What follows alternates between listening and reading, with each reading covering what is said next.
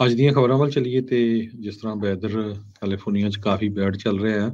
Snow already ਕਾਫੀ ਵੱਡੀ ਮਾਤਰਾ ਦੇ ਵਿੱਚ ਸਿਆਰਾ ਮਾਊਂਟੇਨਸ ਦੇ ਵਿੱਚ ਪਈ ਹੋਈ ਆ। ਆਈ 80 ਕੱਲ ਰਾਤ ਦਾ ਹੀ ਬੰਦ ਹੈਗਾ ਨਵਾਡਾ ਦੇ ਬਾਰਡਰ ਲਾਈਨ ਤੇ। ਕੈਲਟ੍ਰੇਨ ਇਹ ਕਹਿ ਰਿਹਾ ਲੋਕਾਂ ਨੂੰ ਭਈ ਕੈਲਟ੍ਰੇਨ ਵਾਲੇ ਭਈ ਨਾ ਟਰੈਵਲ ਕਰੋ।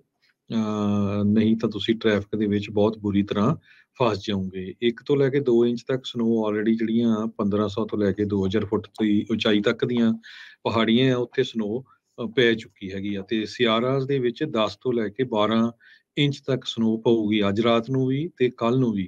ਅੱਜ ਥੰਡਰਸਟਾਰਮ ਵੀ ਬਹੁਤ ਜ਼ਿਆਦਾ ਕਈ ਏਰੀਆਜ਼ ਦੇ ਵਿੱਚ ਪਏ ਹੈਗੇ ਆ।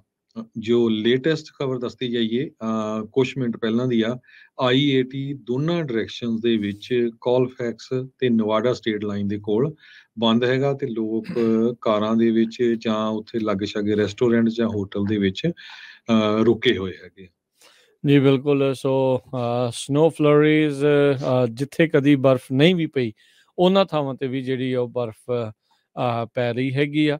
ਸੋ ਧਿਆਨ ਜਿਹੜਾ ਉਹ ਰੱਖਣ ਦੀ ਲੋੜ ਆ। 22000 ਤੋਂ ਵੱਧ ਅਜੇ ਵੀ ਪੀਜੀਐਨਈ ਦੇ ਅਜਿਹੇ ਕਸਟਮਰ ਨੇ, ਜਿਹੜੇ ਬਿਜਲੀ ਤੋਂ ਬਗੈਰ ਨੇ। ਸੋ ਵਿంటర్ ਸਟਾਰਮ ਦੇ ਚੱਲਦੇ ਆ। ਸੈਂਟਾ ਕਰੂਜ਼ ਦੀਆਂ ਮਾਊਂਟੇਨਸ ਬਹੁਤ ਨੀਵੇਂ ਇਲਾਕਿਆਂ ਦੇ ਵਿੱਚ ਵੀ ਜਿਹੜੀ ਉੱਥੇ ਬਰਫ਼ ਆਣ ਡਿੱਗੀ ਹੈਗੀ ਆ। ਸੋ, ਹੋਪਫੁਲੀ ਜਿਹੜੇ ਸਾਰੇ ਜਣੇ ਆ, ਉਹ ਉਹਨਾਂ ਦਾ ਬਚਾ ਰੱਖਿਆ ਰੱਖੋ। ਇਸੇ ਤਰ੍ਹਾਂ ਜੇ ਆਪਾਂ ਸਦਰਨ ਕੈਲੀਫੋਰਨੀਆ ਦੀ ਗੱਲ ਕਰਦੀ ਜਾਈਏ ਸਦਰਨ ਕੈਲੀਫੋਰਨੀਆ ਦੇ ਵਿੱਚ ਕਈ ਫੁੱਟ ਤੱਕ ਸਨੋ ਪੈ ਸਕਦੀ ਹੈ ਲਾਸ ਐਂਜਲਸ ਦੇ ਆਲੇ ਦੁਆਲੇ ਦੀਆਂ ਜੋ ਪਹਾੜੀਆਂ ਆ। ਨੈਸ਼ਨਲ ਵੈਦਰ ਸਰਵਿਸ ਨੇ ਬਲੇਜ਼ਰਡ ਵਾਰਨਿੰਗ ਇਸ਼ੂ ਕੀਤੀ ਆ ਮਾਊਂਟੇਨਸ ਆਫ ਲਾਸ ਐਂਜਲਸ ਤੇ ਵੈਂਚਰਾ ਕਾਉਂਟੀਜ਼ ਦੇ ਵਿੱਚ। ਇਹ ਸੈਕੰਡ ਟਾਈਮ ਹਿਸਟਰੀ 'ਚ ਹੋਇਆ 1999 ਤੋਂ ਬਾਅਦ ਪਈ ਜੋ ਵਾਰਨਿੰਗ ਆ ਇਸ਼ੂ ਕੀਤੀ ਗਈ ਆ। ਸੋ ਇਸ ਸਨੋ ਕਰਕੇ ਠੰਡ ਬਹੁਤ ਜ਼ਿਆਦਾ ਹੋਈ ਆ। ਤੇ ਕਈ ਜਗ੍ਹਾ ਹਾਈਵੇ ਥੋੜੇ ਟਾਈਮ ਲਈ ਬੰਦ ਵੀ ਰਹੇ ਆ।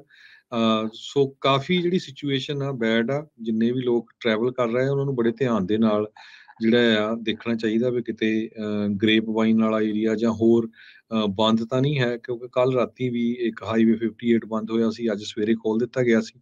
ਬਾਕੀ ਜਿਹੜੀ ਉਹਦੀ ਕੰਡੀਸ਼ਨ ਆ, ਉਹਦੇ ਬਾਰੇ ਪਤਾ ਨਹੀਂ ਹੈ।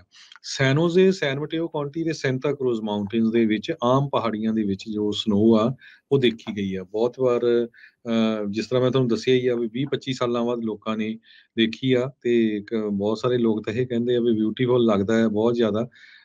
ਪਰ ਕਈ ਜਗ੍ਹਾ ਦੇ ਉੱਤੇ, ਖਾਸ ਕਰਕੇ ਮਾਉਂਟ ਹੈਮਿਲਟਨ ਨੂੰ ਜੋ ਰੋਡ ਜਾਂਦੀ ਆ, ਉਹ ਵੀ ਸ਼ਟ ਡਾਊਨ ਕੀਤੀ ਹੋਈ ਹੈਗੀ ਆ। ਇਸੇ ਤਰ੍ਹਾਂ ਹਾਈਵੇ 92 ਦੇ ਉੱਤੇ ਰਾਊਟ 35 ਸੈਨ ਮਟੇਓ ਕਾਉਂਟੀ ਦੇ ਲਾਗੇ, ਇਹਨਾਂ ਸਾਰਿਆਂ ਦੇ ਉੱਤੇ ਸਨੋ ਪਈ। ਸੈਨ ਫਰਾਂਸਿਸਕੋ ਦੇ ਵਿੱਚ ਜੋ ਟੈਂਪਰੇਚਰ ਆ 48 ਡਿਗਰੀ ਤੱਕ ਪਹੁੰਚ ਗਿਆ ਤੇ 1880 ਦੇ ਵਿੱਚ 49 ਡਿਗਰੀ ਦੇ ਉੱਤੇ ਟੈਂਪਰੇਚਰ ਪਹੁੰਚਿਆ ਸੀ। ਜੀ।